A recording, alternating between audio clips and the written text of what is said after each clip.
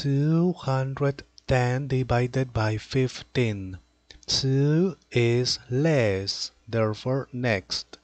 21 is not less, therefore with 21. 15 multiplied by which number is nearest to 21 but not greater 15 multiplied by 2 30 30 is greater multiply by 1 15 15 is not greater okay.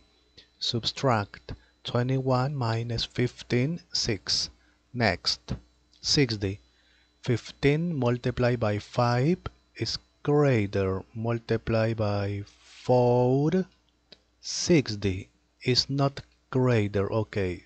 Subtract 60 minus 60 0 next that is not number therefore finish it.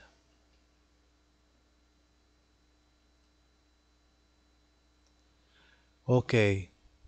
210 divided by 15 is 14 okay